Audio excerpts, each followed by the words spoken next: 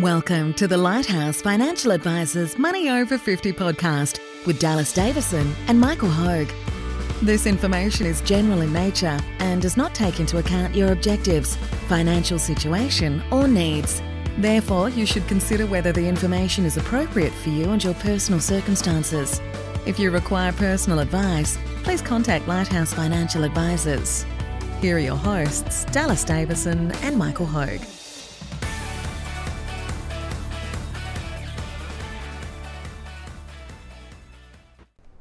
Welcome to Money Over 50. Today we've got a topic Generation X turns 55. My generation. Your generation, I, I, Although I, I'm not quite there yet. mate, unfortunately, I, I kick into the category of millennial, so I can't I can't really be too involved. But uh, yeah, it must be exciting for your whole generation to turn 55. Well, as the new decade rolled around, I it, it, it occurred to me because someone I, I was reading the other day, Generation X Yeah. is from 1965 to 1980, yeah, and I went, oh my god, yeah, that's it. the uh, that's that's the the first Generation X's yeah, I read turned 55 in First of 2020. Yeah, So, um, it, so we, we've been dealing largely with with the majority of our clients Yeah. are uh, baby boomers, yes, and baby boomers. It's been it's been you know, it's always been written about Yes. in media up until right now yep, that the baby boomers are worried about their retirement. The baby Yeah. boomers, uh, you know, are entering retirement. Yeah. Um, they're approaching retirement. yeah, But 2020 marks the first year where it's it just crept up. Yes. So it's just crept up. And Yeah. Generation X, yeah. um, And which I've always considered a young generation because I'm part of it. well, I was born in 1975, so Well, I'm turned 45 this year. yeah, Um, but the first of our of our generation actually turns 55 yeah, this year, which which um, look why that's significant for a couple of reasons. One is um, we find that people contact us a lot, and we actually guess their age over the phone. They they Yeah. they they they they're blown away when we Yeah. say you're Yeah. about 55 years of age, and they say, "How did you know?" Yeah, and um, we said, "Well, you're calling us for the first time, and you, you, you know, um, generally people call us for the first time around age 55 because yep, um, a light bulb goes off in their head. Hey, we've just turned 55. We've, we've got 10 years to go until the traditional age Yep. Of retirement, which is 65, Yeah. of course. Um, And that's and that's why it, it's an interesting one because it sort of all lines up. It's a new decade. It's a new new decade, new year, and and I think this will be an interesting one for, as you say, you know, you're actually a part of this generation. So it seems like we we see this all the time with people who are so baby boomers or people in their early 60s or even you know late in their 50s and they a lot of their a lot of what they everyone says the same thing which is I wish I came and saw you 5 years ago. And so I think that what we will what we see a lot of um, for the first time when someone comes to see us 55 is a big tipping point because it's kind of until that point in time you can probably push it back a bit and go well especially as you say if you think of yourself as a generation Xer not that people think of it in that terms but No. whenever we talk about retirement we're thinking we're naturally just thinking about baby boomers. and, Yes. and oh yeah that's the baby boomer thing they're worried about their retirement yeah. baby boomers are worried about franking credits and baby boomers are worried about Centrelink rules and all Yeah. those kinds of things. But what you're saying here is that this is really the first year that, that the oldest cohort of, of the, that next generation, it's uh, not only is it a time when they will be starting to worry about it or starting to think about it, but it's, it's really prime time that they, that they should be thinking about it.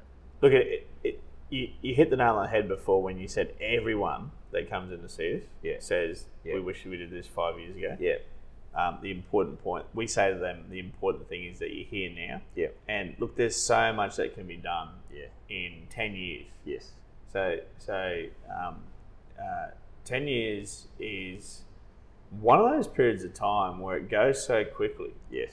Yet Yeah, it seems you can, Yeah. you can, it's long enough to really make a huge what you can difference. get done in 10 years is, is astronomical. It, it, it is astronomical. So for um, I mean, we always say that, everyone has individual goals. So people come to see us, and they all need different lots of income in retirement, and they have different subtly they have Yeah. different goals. yeah, Um, we start with an assumed goal yeah, that uh, that people that are coming to see us for the first time at age 55, Yeah.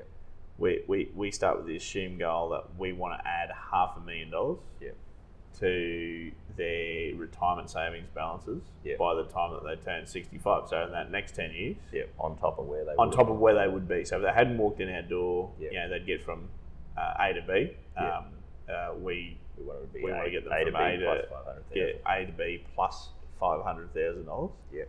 And regardless of where they were going to end up, Yeah. um, the power of that extra five hundred thousand dollars Yeah. is generally enough to to be the difference between Yeah. a uh, you know, a retirement without too many choices to a retirement with, with plenty of choices. That's right. Yeah. So, um, so people, I mean, oftentimes think it's too late Yeah. um, at 55. Yeah, it, it, is, it is a funny one, isn't it? Because there's normally an age. It's it's like a it's like when I'm navigating a car because I'm the worst navigator in the world.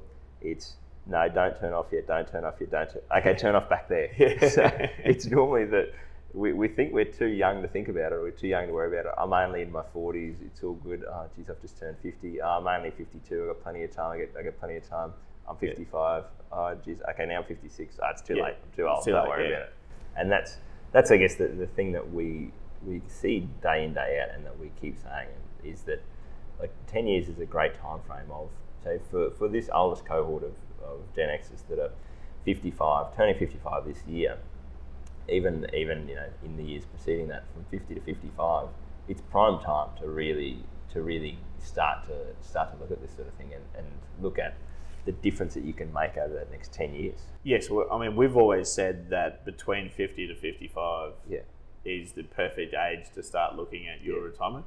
Now, of course, it's better to look at it at 45. Yeah. Um, Yeah. What we find though is Yeah. that is that people that look at it at 45, um, there's only a small minority of the population that can actually stick with the plan from that age because um, life gets in the way. So you know, people Well, with 45 obviously They've younger 15 year children old kids and Yeah. got school fees and they've got all those sorts of all things. those types of things. Yeah. Um, whereas uh, between fifty and fifty-five, Yep. there's there's there's more of a.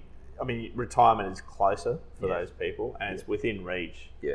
And we find that um, there's just a much higher Yeah. commitment level at that point in time, which is which is so important because, um, you know, we're really like the coach of a of a of a, of a talented. I, keep using this analogy because it's Roger, the only one that is I this know. the Roger Federer tennis No, it's not. no, it's not. It's it's it's it's um it's it's well it you could you could use it that way. So I mean um, we don't get that. No, no one achieves that extra half a million dollars Yeah. without their hard work, their Yes. significant hard work. So Yeah. I mean we have a saying: um, our good work Hmm. and our clients' hard work yeah, that's what makes it. is what makes them, Yeah. you know, um, is what uh, provides that extra half a million dollars. Yeah. Um, so it's a little bit like a, uh, I always say, a talented sporting team. Yeah. Um, they could have the best coach in the world if they're not going to put in the hard work. Yes. They're not going to get the results. Yeah. You know, they might make the semi-finals, Yeah. but they're not going to win the grand final. Yeah. Uh, because because they haven't put in the work. So, you know, we there's when we work backwards and say, okay, you're 55 now. Mm. Um, you know, you're a couple, for example, so you have uh, you each have 260 fortnightly paychecks. Yeah. If you get paid, I say check. Um, Yeah. No one gets paid by check anymore. No. But, Uh, you, but, yeah, but but but it- you have such a 200 a maximum You- of you're getting paid 260 260 times. and um, your spouse has 200 a maximum Yeah. of 260 Yeah. so yeah if we work backwards and say okay each fortnight we need to be Yeah. you need to be giving up some money Yeah. um, to go into your retirement savings your superannuation fund Yeah. that's their hard work that's the equivalent of That's them right. do- doing the hard work the Yeah. physical training Yeah. um, our our uh, good work is is um, from the coaching side of things, and that's by looking at the legislation Yep. and saying, okay, well, we know that you're currently not um, taking advantage of all the tax deductions that you can. Oh, here's another seven thousand dollars that you're going to save in tax, which will go straight Yeah. into your Yeah. super fund each year. Yeah. Um, As know, well as- here's the investment strategies that you can look at uh, Yeah, that we of those. think are a bit Yeah. too conservative for what you require. Yep. So we and, can and that's that's I guess the the the whole our, our whole point here of the, you know, that that 55 is, is such a tipping point, um, and and for most people, most people who are in that Gen X um, age range, what will happen is that you know the next the next five years, the next ten years will come and go for them regardless. So if you're 50 right now, you're either going to keep doing what you're doing for another five years, and then you're going to turn 55 and go, geez, I'm 55, I've only got 10 years to go. That's, as you say, there's a huge amount that we can do in that last 10 years. But for a lot of people, that if you're, if you're, I guess it's, it tends to be those two ages, and it's either 50 or 55. Hmm. Someone who comes to us at 50, they may not have quite as much in superannuation, but what we tend to find is that it's really interesting that the amount that they are required to give up every every week, if they if they only if they plan to work for another 15 years compared to 10 years, the difference of what they have to give up every week is is far less because they've got that extra time working for them. Yeah, the extra. I mean, the compounding of that extra five years um, really makes a huge difference. Yeah. And um, the the other point is that uh, oftentimes people come to us as well, and and they actually need a few things unwound Yes. to actually. Yeah. Yeah. So that takes time. Yeah. That's right. So you know, common things that we see at the moment are people that have uh, significantly underperforming rental property, Yeah. and um, Yeah. yeah, you, you do the numbers with them, and it's certainly not working, and it's taking a massive drain on their on the disposable income. Yeah. And if they um, had that disposable income instead going into the superannuation fund, which can also be tax deductible to Yeah. them, then uh, the returns they would get. Now they can't sell that property overnight. Yeah. Like, like Yeah. it takes time to Yeah. actually get the deduction rate to sell that property. Um, another common one that we see are people that are still paying off off. You know, they might have a um, car loan or something Yeah, like that that runs like for that. another Yeah. two years, Yep. and and so they can't Yeah.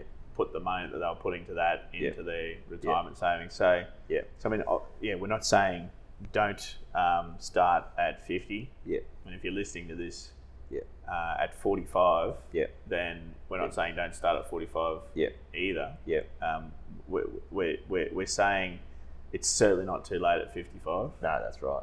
And um, look, it's not too late at any age really, but but it's No. but it's but, but between 55 and 65 Yeah. in a decade, Yeah. um, it's it's it's we can for most of our clients, if not all of our clients, achieve a Yeah. half a million dollars um, Yeah. difference Yeah. and that's uh, not all magic, of Yeah, course. In fact, not most of it isn't magic. It- it's it's it's actually I was their thinking, have you, have you got some magic? That you, I haven't got any. I've just got tax savings and cool. yeah, well, like tax, tax savings is, is, is quite good. Yeah. Um, But Um, yeah, it, it's it is an interesting one, and I was actually thinking about this because so when we did a financial planning appointment for yourself and Susie the other day, so obviously because I'm the best financial planner in Australia, you came to me to, to do a to do an appointment with yourself and your wife. have you ever seen that movie, uh, that show that used to be on in the uh, 80s? You probably wouldn't have seen it. No. Um, Kung Fu, it was called. Where No. There was um, No. Master Grasshopper. So, Grasshopper, you, you um, yeah, you got a long way to go. yeah, no, you're, you're, you've been trained by the best. So, so, So obviously, I, th- I think I'm the best. But um, what I, what I was getting to, other than that little segue into having a dig about how I'm the best, is that it was sort of interesting. I think uh, probably from your end to see that, and you know these numbers that. So you're 45. When we looked at you know projecting at superannuation balances and those sorts of things, the, the difference between looking at it at 45 and having kind of 15 years to go until you're 60 or 20 years to go until you're 65 it's it's a huge huge difference there like that that compared to someone coming in for the first looking at this for the first time at 55 Yes. is that as we say for most people at 45 it's not really the, the front of mind but that's that's the big one I think is that if you look at that that 55 age is going to come around and it's either going to be you know in five years you're going to people are going to keep doing what they're doing for the next five years so they, that oldest cohort of generation x's that are between 50 and 55 now they're either going to keep doing what they're doing for the next you know five years Yeah. and then suddenly hit panic stations yeah. or they're going to get to that point and go, geez, I'll think about it now, and then and then there is really a, a lot, a lot more of it is the time doing the work for you, and and you're, you're super th- that's right. The time. That's a great point to make. So, in, in five years, Yeah. I mean, we say ten years goes quickly. Five years Goes- just snap of a goes finger. the Yeah. snap of a finger. So, so, um, and it's not exactly this equation, but if you're 55 and to get where you need to be, you have to put in $500 a week Yep. to your superannuation funds. Yeah.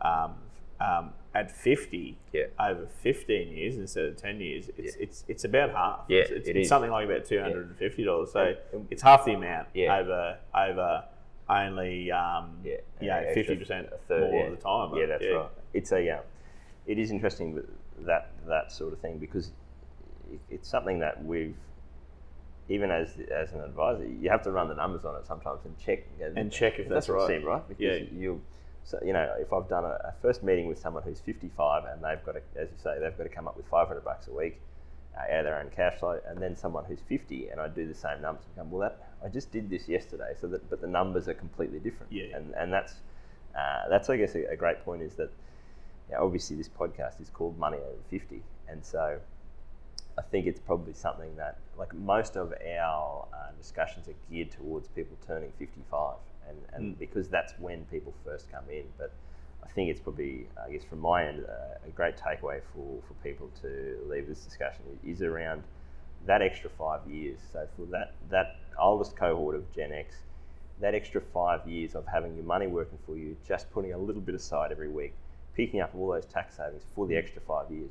By the time you by the time you actually reach that 55, which is normally when people hit panic stations, you, you can be a long way in front of where you were on track Yeah. to be. Absolutely. Yeah.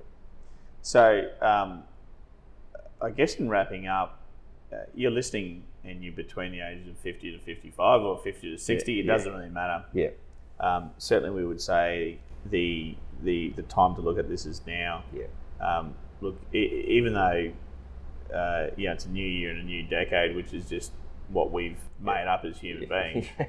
Um, there is Yeah. something refreshing about a new That's year right. and a new decade, yeah. and and um, starting off the decade. And, and that's a great point because, as you said, and as I was saying before, everyone who comes to see it for the first time, and we look at the difference that, that can be made over 10 years, and we talk about the compounding Mm. effect of things, everyone says, I wish I'd, I wish I'd come in five years ago. And as we said, we can't.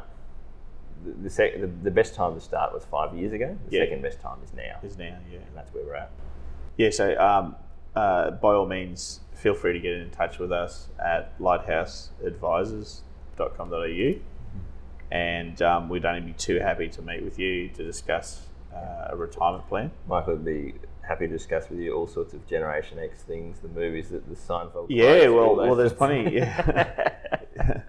I'm, uh, I'm certainly, certainly a big part of Generation X. Yeah. So, Yeah. um, it, and like I said, it, it, it's it really stuck up on me Yeah. that the older Yeah. or the, the earliest cohort yeah, of Generation X Yeah. um, are turning 55 That's in right. 2020. So, yeah, very so um, yeah, uh, it's certainly it, it's it's it's what we've always spoken about as um, as a baby boomers yeah, problem. thing to worry about or problem is is now Becoming a squarely a Generation X Yep. problem as well. Absolutely. So, bye for now.